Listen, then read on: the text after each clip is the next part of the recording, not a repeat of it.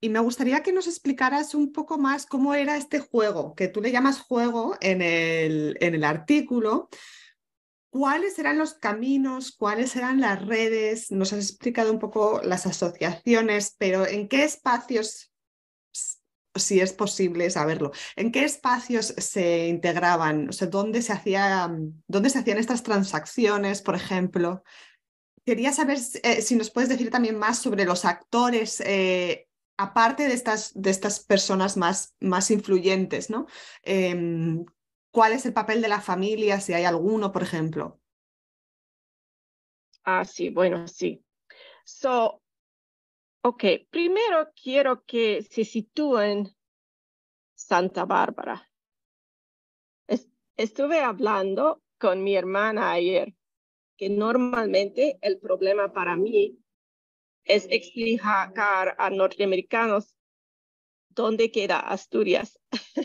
Pero ahora quiero explicar dónde queda Santa Bárbara. So, hay la ruta de la Nao, que en este entonces, como 1801, había más buques hispanos que solo la Nao. So voy a llamarlo la ruta del comercio de China, la ruta hispana del comercio china. So, esta ruta comienza en Manila o Cantón.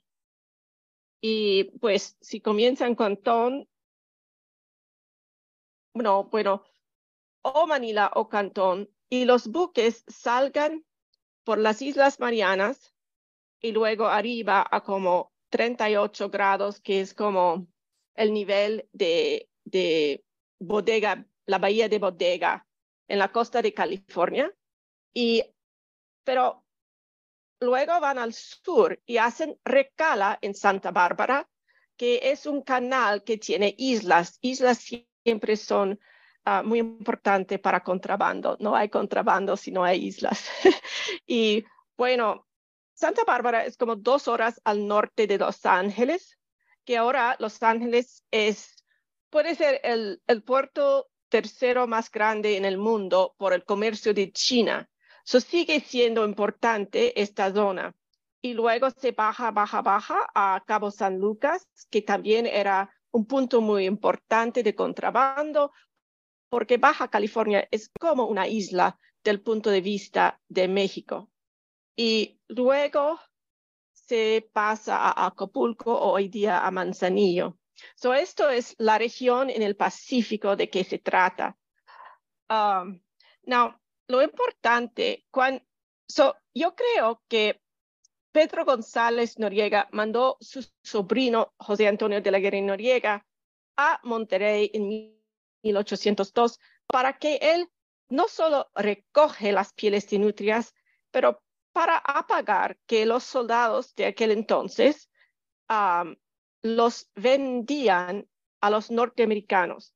Now, mucha gente piensa que los norteamericanos llegaban a California ah, saliendo de Ohio y vino a tierra, pero no, los primeros eran gente de Providence, de Boston, eh, que primero se fueron a la Turquía a través de Europa y luego venían a Cantón. Eh, Puede ser por el comercio del opio, que se andaban primero a Turquía y luego a Canton, aunque, bueno, esto es más importante después de 1812, el opio, pero había un poco antes. Y desde Cantón